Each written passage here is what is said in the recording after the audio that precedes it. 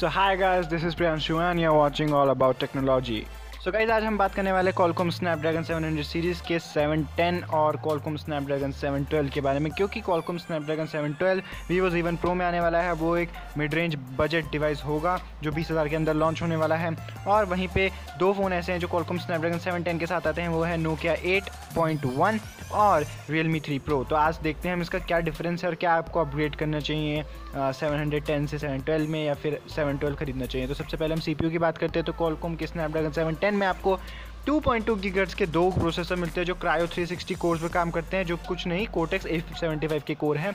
वहीं पे छः कोर आपको 1.7 पॉइंट की स्पीड देते हैं फ्रीक्वेंसी देते हैं क्रायो 360 कोटेक्स ए वहीं पे स्नैपड्रैगन सेवन ट्वेल्व में भी कुछ डिफरेंस नहीं है, बस थोड़ी फ्रीक्वेंसी बढ़ाई गई है। वहाँ पे 2.3 गीगर्ट्स की क्रायो 360 कोटेक्स ए की स्पीड मिलती है और छः वन पॉइंट सेवन गीगर्ट्स के क्रायो 360 कोटेक्स ए मिलते हैं। जी में भी कोई डिफरेंस नहीं है, दोनों ही फ़ोन में। सिमिलर जीपीयू दिए गए हैं। Snapdragon seven ten seven twelve में दोनों ही में अड्रीनो सिक्स सिक्सटीन दिया गया है।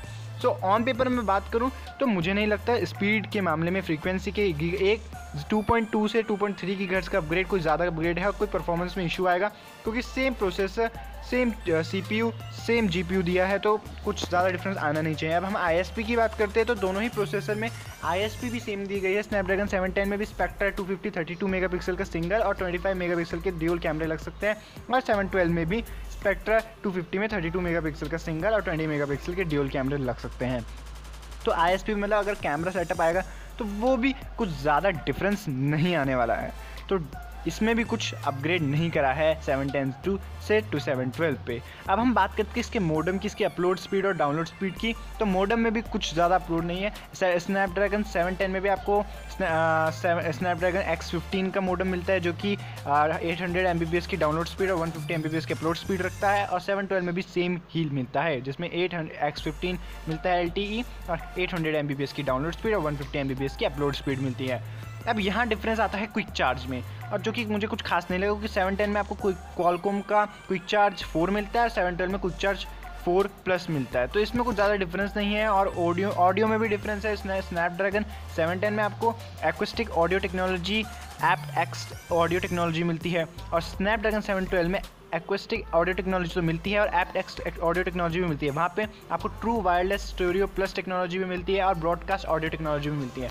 तो यही दो चीज़, तीन चीज़ों में अभी तक डिफरेंस आया है, वो की है प्रोसेसर की फ्रीक्वेंसी स्पीड ऑडियो में और कॉलकॉम के जो क्विक चार्ज सपोर्ट करते क्योंकि क्विक चार्ज तो यहाँ फोर अभी तक आया नहीं है इंडिया में तो मुझे कुछ फ़ायदा लगता भी नहीं और फोर से फोर प्लस में मुझे नहीं लगता कुछ ज़्यादा डिफरेंस होगा। वहीं पर कोई कॉलकॉम क्लेम करता है जो सेवन ट्वेल्व होगा, वो दस परसेंट मतलब दस प्रतिशत फास्टर होगा सेवन टेन से ए आई बेटर इंटीग्रेशन होते जो ए आई चलेगा, जो आर्टिफिशियल इंटेलिजेंस वाले ऐप चलेंगे, वो ज़्यादा बेटर चलेंगे टेन परसेंट और आपको स्मूथर गेमिंग एक्सपीरियंस देता है सेवन टेन के मुकाबले। तो सेवन टेन में भी काफ़ी अच्छी गेमिंग परफॉर्मेंस आपको देखने को मिल जाती है, क्योंकि हमने रियलमी थ्री प्रो में भी देखा, काफ़ी काफ़ी अच्छी परफॉर्मेंस है।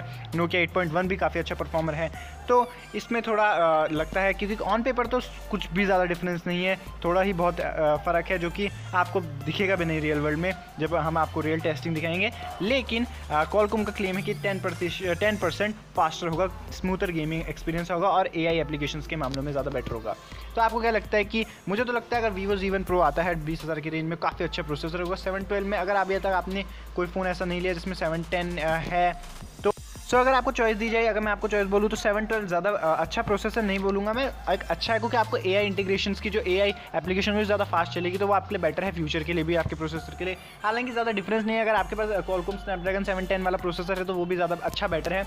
आ, तो आप कोई सा भी फ़ोन ले सकते हैं चाहे आप रियल मी थ्री प्रो ले नोकिया एट ले सेवन टेन भी काफ़ी काफ़ी अच्छा प्रोसेसर लेकिन अगर वीवो जी वन प्रो आता है तो वो भी एक आपके लिए अच्छी चॉइस हो जाएगा। तो देखना होगा कि ओवरऑल परफॉर्मेंस कैसी होती है और क्या आप लोगों को मतलब ओवरऑल कैसा परफॉर्मेंस देते ये सब हम कैमरे को ध्यान में रखते हुए बैटरी ध्यान में रखते हुए डिस्प्ले वगैरह ये सब देख के हम तब देखना होगा कि वीवो जी वन प्रो क्योंकि काफ़ी अच्छे स्पेक्स के साथ आ रहा है तो ये देखना होगा कि comparatively Realme three pro और नोकिया एट पॉइंट वन को कैसे टक्कर देता है। हालाँकि इन दोनों ही प्रोसेसर में ज़्यादा डिफरेंस है नहीं तो आप कोई सा भी प्रोसेसिंग के मामले में ले सकते हैं लेकिन अगर आपको थोड़ा बेटर चाहिए मतलब आपको थोड़ा फ्यूचर में ए आई ऐप्स जैसे आएँगे वो थोड़ी बेटर स्मूथ रन चाहिए तो सेवन ट्वेल्व आप आ, मैं आपको रिकमेंड करता हूँ। तो आपको ये वीडियो कैसी लगी कमेंट में बताइए आपको कौन सा प्रोसेसर आपको अच्छा लगा वो भी आप मुझे कमेंट में बताइए और अगर आपने अब तक सब्सक्राइब नहीं करी वीडियो सॉरी चैनल तो आप सब्सक्राइब करिए।